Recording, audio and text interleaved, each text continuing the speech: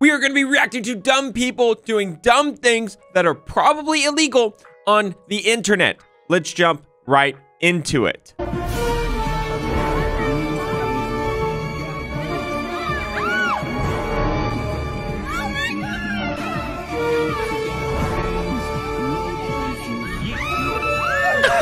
What's that one movie, Dirk slash Matthew? Like snakes. Why does it have to be snakes? You know, at first I thought this guy was going to be a good Samaritan. You know, he's saving his uh, his camp from the invading snake. You know, then he had to go take it one step further and he had to throw the snake on uh, on the other people. Now, is this illegal? Well, maybe. It is certainly the tort of battery because he's intentionally causing harmful or offensive contact by throwing the snake, the snake making contact with these people, and, uh, you know, snakes are harmful. Snag. Hello? Hello?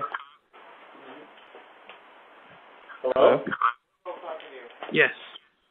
Who am I speaking to? This is the owner of the house. Can you see me? I can see you. Oh, perfect. Is your brother-in-law supposed to be here? Yes, he is. Okay, Did my cool. neighbors call? I forgot to Yeah. tell them. No, um, no. There, there's a, some sort of mix-up. I'm sure he'll tell you the full story, but no one's in any trouble, and we'll we'll let him go, come on in.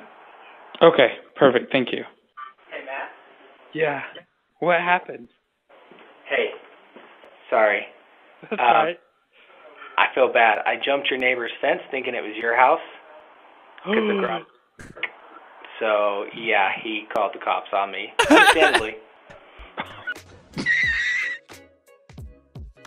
I was wondering where this is going.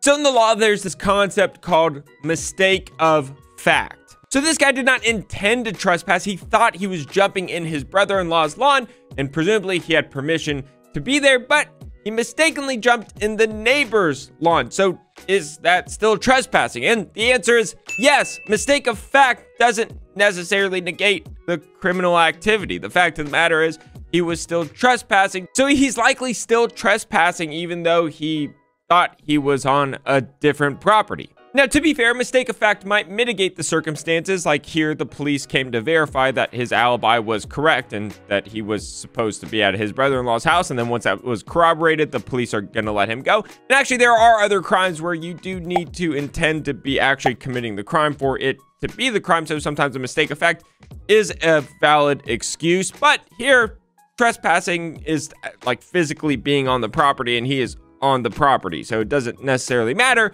that he thought it was a property he had permission to be on. He gets a ba- he gets a love tap knowledge hammer just because, I mean, look, he's asking for it. Boop. One more time. Boop. Baby knowledge hammer.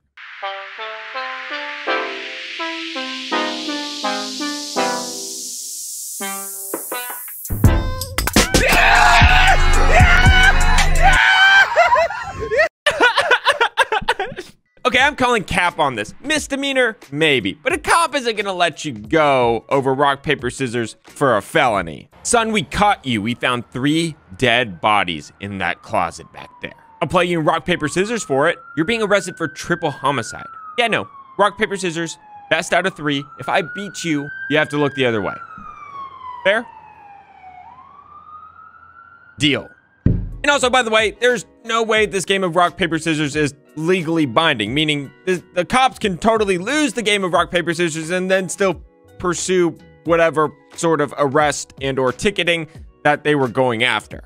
But I am glad that they kept to their word and are letting these people go.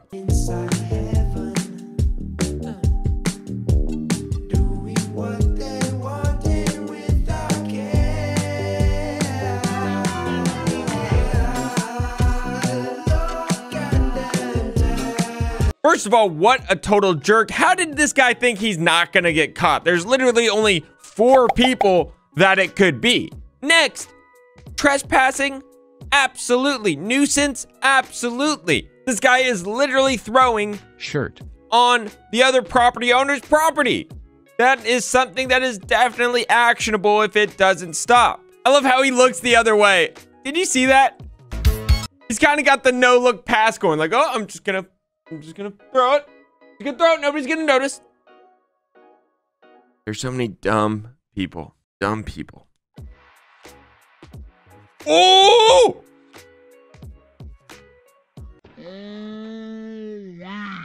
This mail truck is going about 30 miles per hour straight into this house. Ugh. Ah! Okay, that's actually better than I thought. Thank God for those trees that absorbed the blow. The worst part about this for the homeowner is that it's USPS. That's the United States Postal Service. That's a government entity. They're probably capped. Now, usually it's a $250,000 cap. It's going to depend on the state, but I think $250,000 is right about there. The good news is I don't know if this is $250,000 worth of damage, but if it was over $250,000 worth of damage, that's probably the most you can recover from uh, from these guys because it's the government. Walking to my car to go for a nice drive in Austin. Finding the whole front of my car stolen from inside my apartment's gated parking garage. So it could potentially be a case against the apartment complex. It's going to depend on how often this has happened. Were they put on notice that there's an issue with people breaking in past the security and stealing? And if the answer is yes, you can potentially pursue a claim against them for them to repair the damage to your car because they should have been on notice that this was an issue and they have a duty to keep their tenants safe and their property safe. What? No, no, my greatest fear is happening. Bro.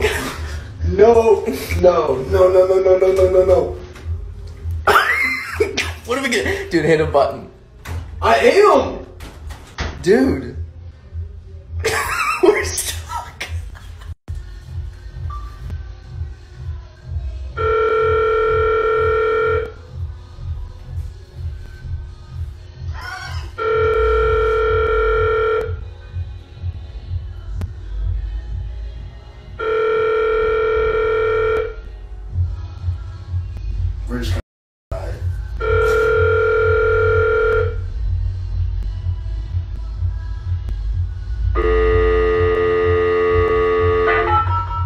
Oh, okay.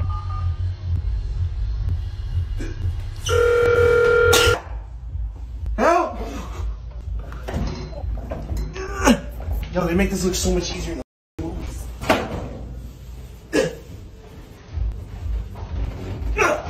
Ah, my hand. My hand's stuck. Help! Help! Please? Okay, um, is this a case? Maybe, as many of y'all know, torts are driven by damages. What damages have these guys suffered? As of right now, not a whole lot, but let's just say hypothetically they get trapped in there for days and days and days, and they don't have food, water, drinks, access to use the restroom. Well, then your damages increase significantly. And what exactly is the case? Well, it could be negligence. You know, somebody is trapped in the elevator. Presumably, they need a way to contact you to get them out. Also, you know, maybe regular inspections. Why did the elevator break? And also, if it does break, do you have uh, appropriate amount of response time to get the people out of the elevator who are in there? So as of right now, they probably don't have enough damages to it for it to be a case. But you know, I don't I don't know how long they're they're trapped in there for, right? Help! Oh my god, this is not happening. Eh.